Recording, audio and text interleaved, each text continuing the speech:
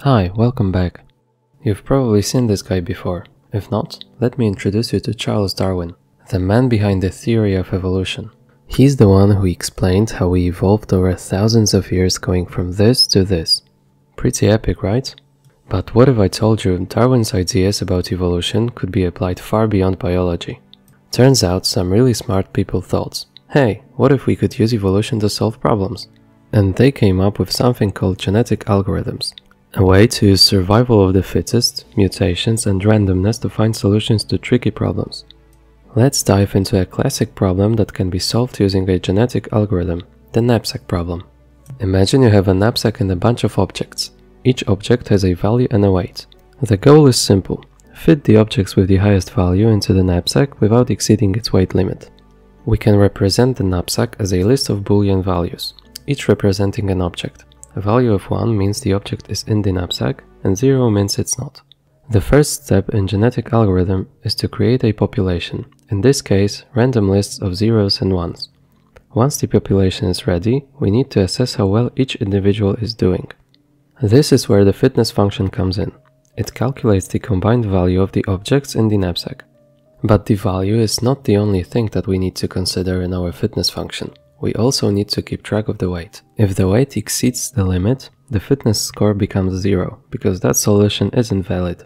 After evaluating all individuals, we move on to selection. This step chooses the best fitting individuals to be parents for the next generation. In our example, we're gonna use roulette selection. Each individual has a chance to be selected based on its fitness score. The better the score, the higher the chance of being chosen. Once parents are selected, we create children by combining parts of their genotypes. The most common way to do this is with one-point crossover. A random point is selected and the genetic material from each parent is swapped at that point to create offspring. To maintain genetic diversity, we introduce mutation by flipping some of the bits in the lists.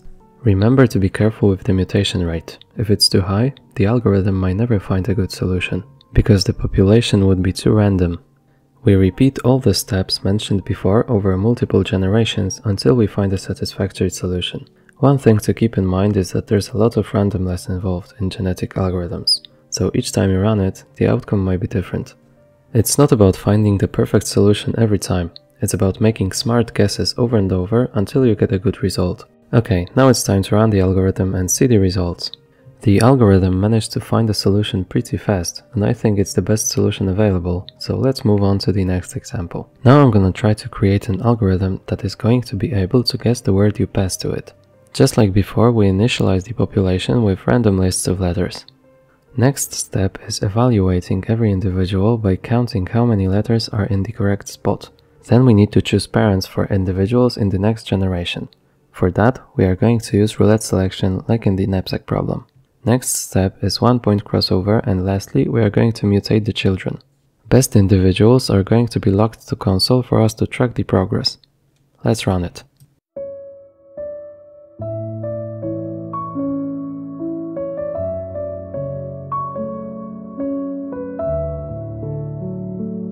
Okay, it found the word we were looking for, but let's be honest, the performance is not the best.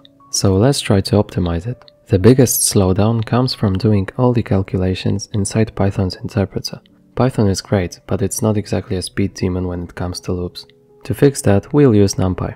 If you're new to it, NumPy might seem a little bit intimidating at first, but trust me, it's really a game changer. NumPy is a library that uses functions written in C, making it super fast.